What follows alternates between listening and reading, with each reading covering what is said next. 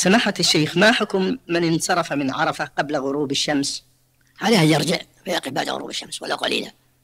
فإن لم يرجع فعليه دم يذبح في مكان الفقراء لأن الوقوف بها إلى الغروب واجب لمن وقف نهارا.